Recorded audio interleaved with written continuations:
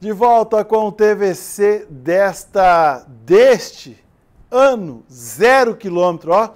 Hum, cheirinho de novo. 1 de janeiro de 2024, estamos aqui ao vivo na sua TVC HD para levar a, sua, a informação para você.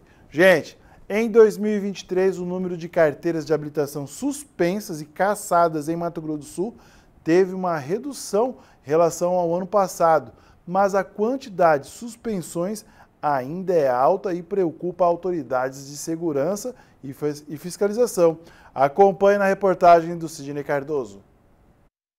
O trânsito de Três Lagoas é um dos mais movimentados do estado de Mato Grosso do Sul e o que preocupa é a ação de alguns motoristas. Pelas ruas e estradas, ultrapassagem com a faixa dupla, excedendo o limite de velocidade e até furando o sinal vermelho. Tudo o que o Código de Trânsito proíbe, como orienta o tenente da Polícia Militar, Lauro Santana.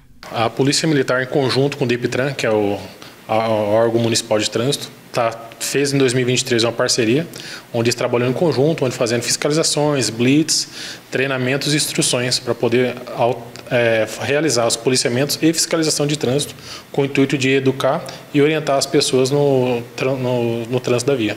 Mesmo com as orientações das práticas corretas, 10.987 motoristas ficaram com a Carteira Nacional de Habilitação, a CNH, suspensa e 657 tiveram a carteira cassada este ano no estado de Mato Grosso do Sul. De acordo com a Polícia Militar de Três Lagoas, as três principais infrações no trânsito são dirigir o veículo sem estar devidamente licenciado, dirigir o veículo sem carteira de habilitação e dirigir sem o uso de cinto de segurança. Uma redução nos números em relação a 2022, que registrou 24.304 CNHs suspensas e 668 caçadas, tendo como principais infrações disputa de corrida em via pública sem autorização, dirigir sob o efeito de álcool e outras faltas graves.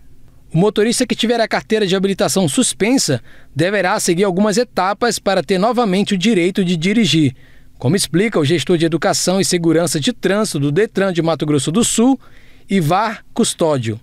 Importante deixarmos claro que, além do curso de reciclagem, além da prova que ele precisa realizar logo após o curso, o condutor precisa ficar atento que ele precisa cumprir o seu prazo de suspensão. Então, resumindo, são três requisitos que ele precisa cumprir: cumprir o prazo determinado pela penalidade de suspensão, realizar o curso de reciclagem, que pode ser presencial ou EAD, e logo após realizar uma avaliação de 30 questões no Departamento Estadual de Trânsito. Após cumprir esses três requisitos, ele poderá novamente dirigir. Após receber a notificação de suspensão pelos Correios ou pelo Diário Oficial da União do Estado, o motorista deve entregar a carteira de habilitação ao Detran.